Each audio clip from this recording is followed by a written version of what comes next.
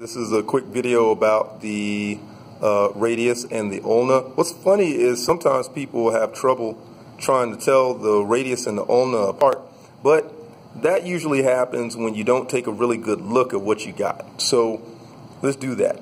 Here's the radius.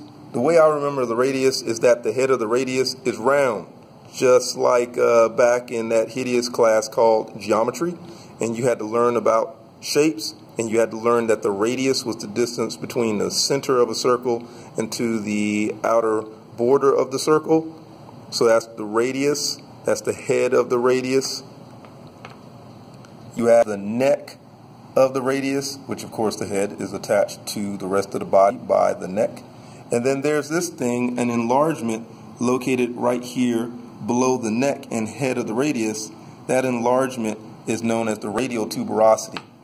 And then down here at the bottom, you have something called the styloid process of the radius. Now the styloid process, if you find your thumb, like your, your thumb on your hand, you'll notice that there's a slope that runs right along the radius and right up to the base of your thumb.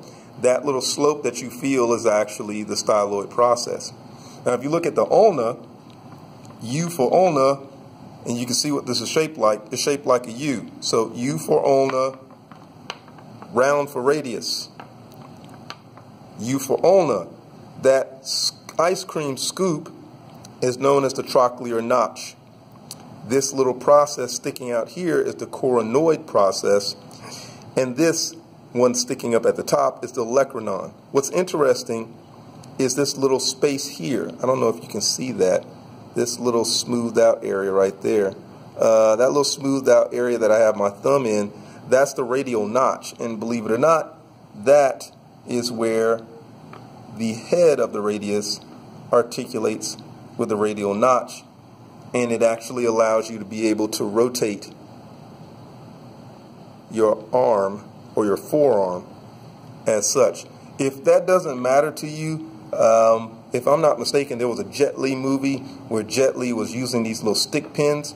He was beating the brakes out of everybody with stick pins, but then again, it's Jet Li. He was sticking these stick pins in people's arms, immobilizing people, and, and near the end of the movie, he's fighting these dudes at a pool table, and he sticks a pin in that guy's um, elbow, and he's actually sticking the pin at what it appears to be right in this joint, in between the head of the radius and the um, radial notch of the ulna.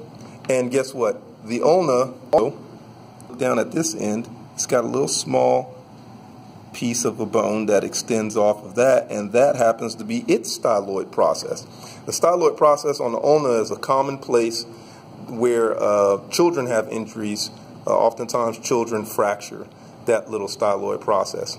And that's about it for the radius and the ulna. Oh, by the way, were you able to tell that both this radius and this ulna, were you able to tell which one was a left and which one was right? Believe it or not, when I first picked up these bones earlier today, I thought that I had a left, uh, both left bones. But believe it or not, this is a left radius. But unfortunately, this is not a left ulna. This is actually right ulna. If this was going to be a left ulna, just like that's a left radius, then the head of the radius would have needed to have been able to insert to that radial notch. But unfortunately, it doesn't fit. So this is actually a right